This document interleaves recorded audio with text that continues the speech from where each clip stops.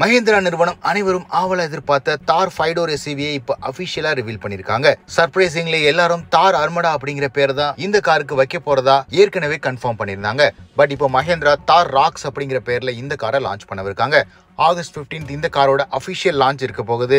அதற்கு முன்பாகவே இந்த காரோட டீசரையும் வெளியிட்டிருக்காங்க மஹேந்திரா நிறுவனம். மேலும் தார் ராக்ஸ் அப்படின்னு பெயரிட்டு இருக்கிறதுக்கு rock star with it solid build quality அப்படின்னும் எக்ஸ் ஃபேக்டர் இந்த கார்ல ஆஃப் ரோட் காரா இருந்தும் சொபிஸ்டிகேஷன் மற்றும் பெர்ஃபார்மன்ஸ் இருக்கும் அப்படிங்கறத குறிக்குது. மஹேந்திரா தார் வெறும் ஸ்டைலிங் அளவில் மட்டும் ஹையஸ்ட் ஸ்டாண்டர்ட் செட் பண்ணல. டிரைவிங் டைனமிக்ஸ் மற்றும் அட்வான்ஸ் ஃபீச்சர்ஸ்லயும் இந்த கார்ல பல விஷயங்களை ஆட் பண்ணிருக்காங்க. டிசைனை பொறுத்த வரைக்கும் நாம ஏற்கனவே பல வீடியோஸ்ல சொன்ன மாதிரி ஃப்ரண்ட் கிரில்ல மாடிஃபை பண்ணிருக்காங்க.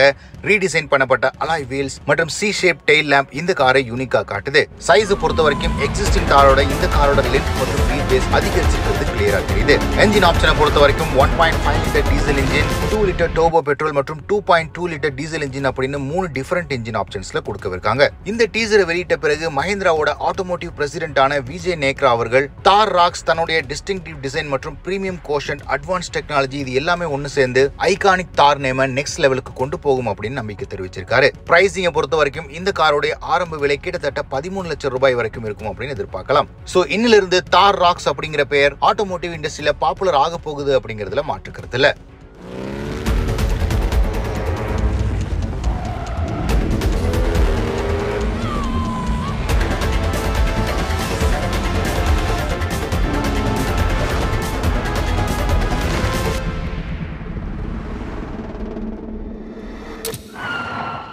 What did you see? The SUV. Tar Rocks, the SUV.